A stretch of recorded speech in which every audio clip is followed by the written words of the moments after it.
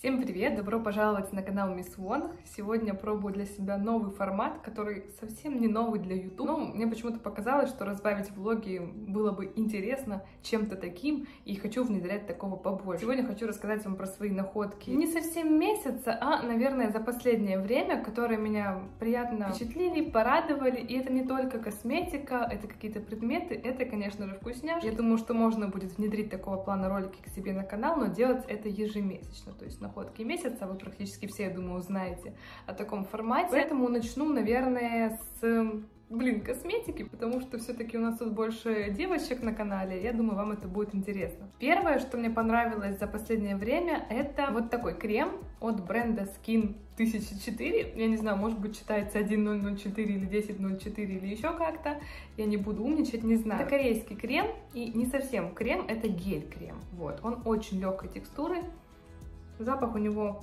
практически не выраженный, можно сказать, что его нет. Такая вот туба объемом 75 миллилитров.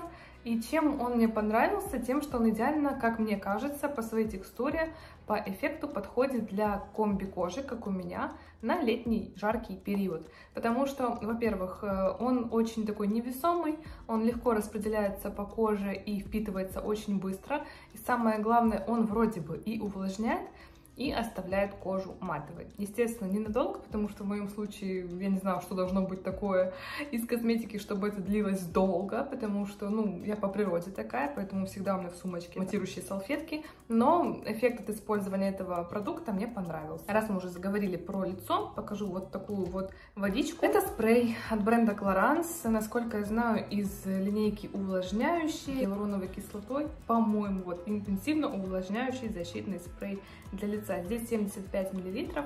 Я его брала перед поездкой в Испанию. Хотела взять что-то такое в таком объеме, до 100 мл, чтобы брать с собой в ручную кладь. И мне очень понравился он в использовании. Во-первых, у него, опять же, тоже нет сильно яркого запаха, просто такой приятный косметический оттеночек. Приятно и удобно пользоваться, то есть он очень легко распределяется и очень быстро впитывается. Сейчас даже мы можем с вами это сделать. Ой, мне нравится. Я люблю такого плана штуки, не потому что я верю в какую-то чудодейственную силу спрея гиалуронового, что он так увлажнит мою кожу, что я буду вечно молодой.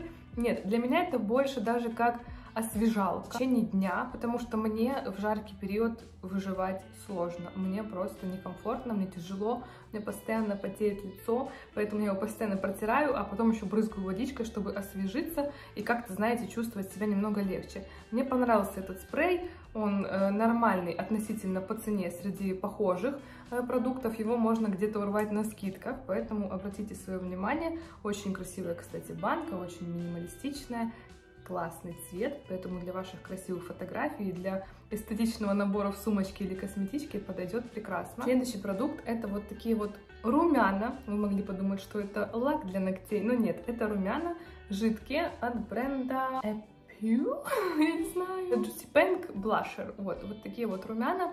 Очень интересные, э, потому что я до этого прям именно жидкими румянами не пользовалась никогда.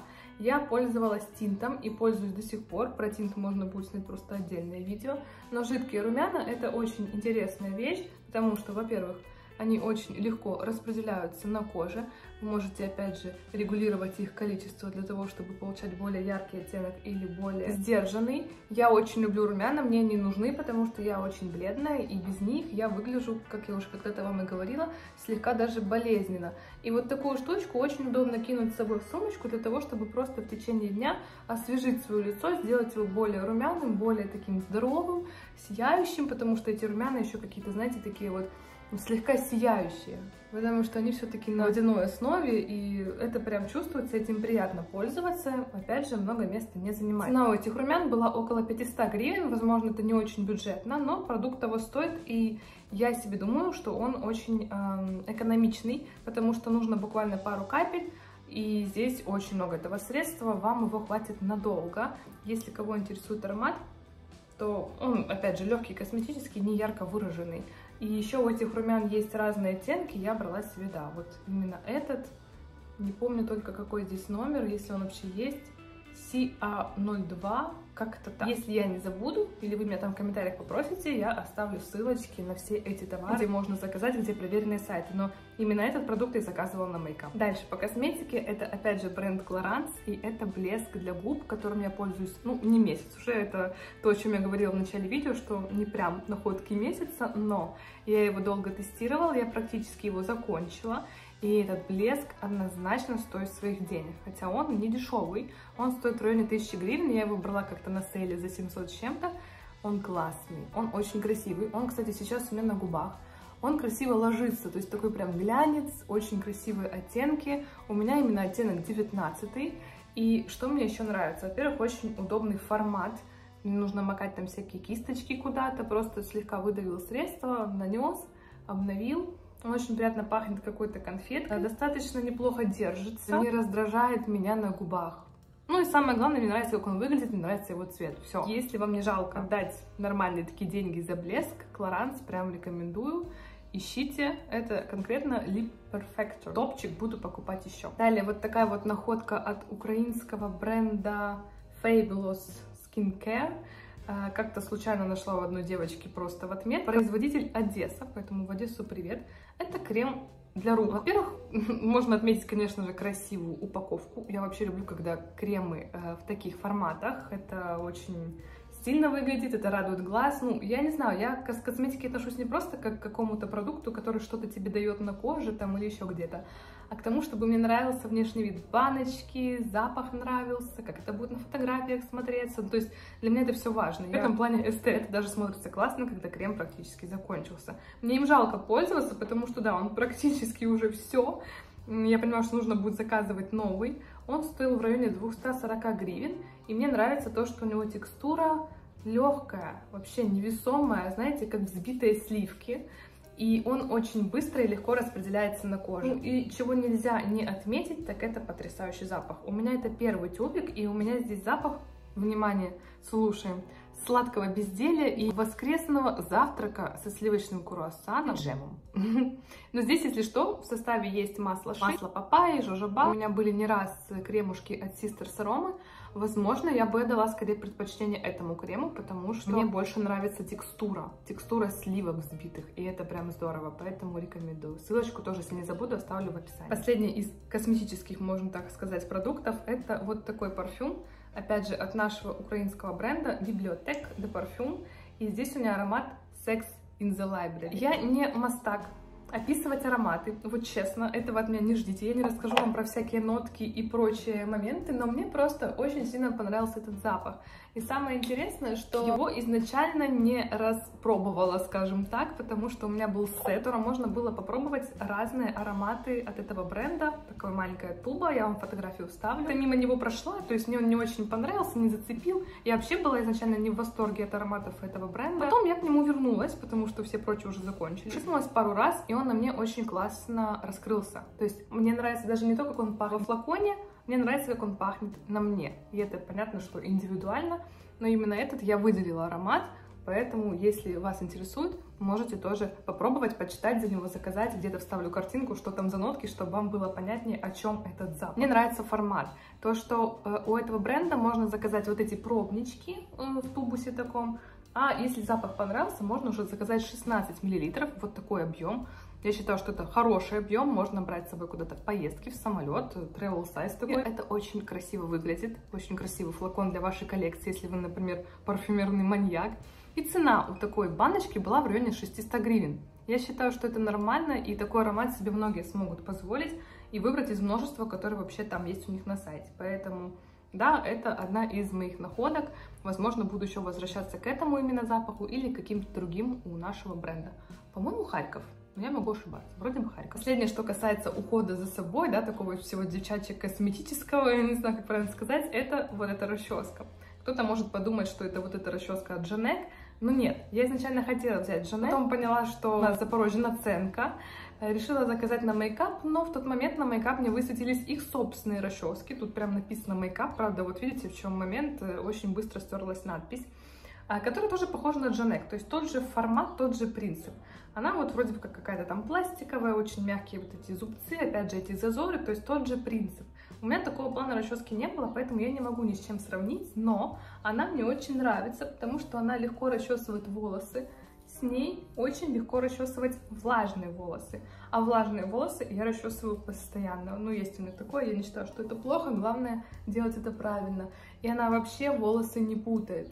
Опять же, за счет, наверное, своего вот такого вот строения, скажем так. Поэтому вещь — это хорошая альтернатива, как мне кажется, этим Джанек, потому что она дешевле в два раза. То есть эта расческа мне обошлась 200 с чем-то гривен, тогда как Джанек стоила 600, по-моему. Мне понравился формат и мне понравился цвет. Очень красивый, нежно-розовый, поэтому для тех, кто хочет попробовать что-то такое, сменить свою старую расческу, щетку, в которую вода затекает и пыль, пыль забивается на что-то подобное, это прям наход. Вкусняшки. Сегодня немного, но я уверена, что если мы эту рубрику введем, будет больше, потому что вы знаете, какой я фанат вообще всего вкусного, еды и прочего.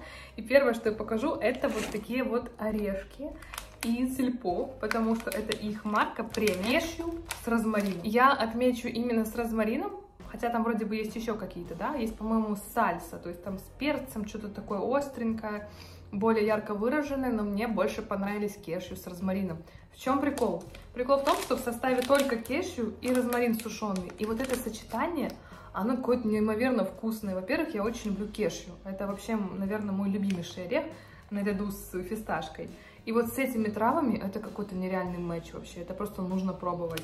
Здесь тоже 60 грамм, то есть взяли на перекус идеально куда-нибудь в дорогу, просто похрумтеть, чем рассматривая фильм, потому что часто там, да, сесть смотреть кино, что купить какие-то чипсики, еще что-то, если вы хотите более здоровую альтернативу и такую, которая вас насытит, орехи это идеальный вариант. А вот именно с розмарином это что-то новое, я очень надеюсь, что они не будут эту прелесть убирать вообще с продаж. Это очень вкусно, прям рекомендую, пробуйте. Я себе купила как раз таки в дорогу в Турцию, в автобус, без орешков я никуда. Еще я большой фанат батончиков.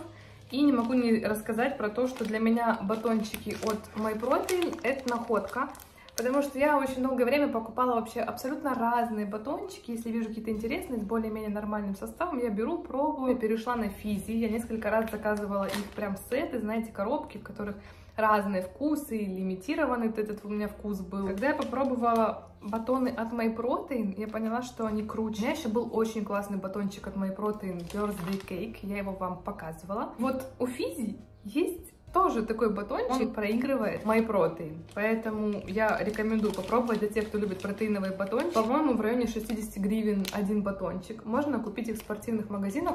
У нас в Запорожье он продается в магазине на малом рынке, там в подвале такое помещение. Можно заказать, я думаю, у них на сайте, потому что MyProtein это большущий такой знаменитый э, бренд спортивный, поэтому кто в курсе, тот в курсе. Последняя находка, которая пришла ко мне, вы знаете, так спонтанно, я очень это резко захотела, и сегодня снова об этом вам напомню, это пленочный фотоаппарат.